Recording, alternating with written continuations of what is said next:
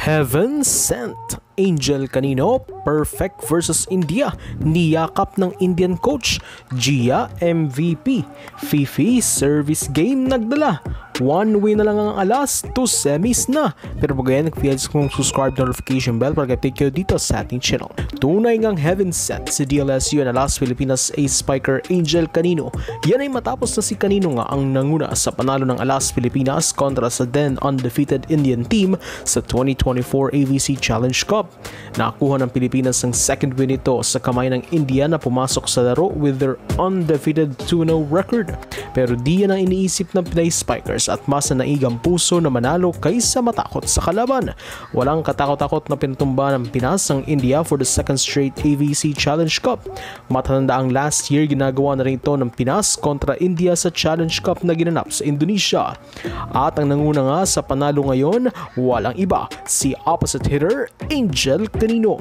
The most efficient spiker ng bansa sa naturang laban, ibabaw na ibabaw si Canino sa Indian blockers at nagpamalas pa ito ng sharp cross-court shots. Ibang level ang pinakita ni Canino lalo na ng struggling ang Pinas sa opensa. Si Canino ang gumawa ng paraan upang manatili pa rin tayo sa laro. Matapos ng laro, niyakap si Canino ng mismong Indian coach na si Coach Jai Naran na mistudang napabilib sa husay ni Angel. Well uploaded rin ng Indian coach ang buong Philippine team matapos ng laro. Napaka-positive ng India kahit natalo sila, nakangiti pa rin ito. Lalo na ang coach nila na positive vibes lang sa laro. Sa katunayan, may ibang challenge na sila na mismo ang umaamin na fault nila iyon. Kaya kudos rin sa Indian team na nagbibigay respeto sa kalaban at sa laro. Bukod kay Angel, ibang level rin ang pinamalas ng iba pang DLSU gels tulad ni Thea Gagate at Fifi Sharma na unstoppable sa middle. Busog na busog sa quick sets ni Gia ang dalawang middle spikers ng alas. Hirap depensa ng India ang mga quick plays ni Gia Tugagate and Sharma. Sabayan pa ng crucial kill blocks ng dalawang players na ito na mas nagpasulido sa ating net presence.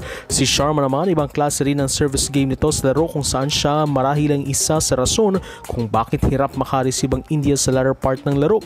Kargadong float serves ang binibigay ni Fifi na hirap kunin ng Indian team. At hindi rin pwedeng kalimutan na si Don Mahandili Katindig na stellar pa rin ang performance mula sa Australia game. Tila this Indian game, buwis buhay saves and digs pa rin ang pinamala si Don na mas nagpainit sa rallies at sa crowd sa loob ng Rizal Coliseum. With Don and Yerva good floor defense, sinusundan naman ni ito ng magic hand si Gia Morales de Guzman na napakahusay sa setting.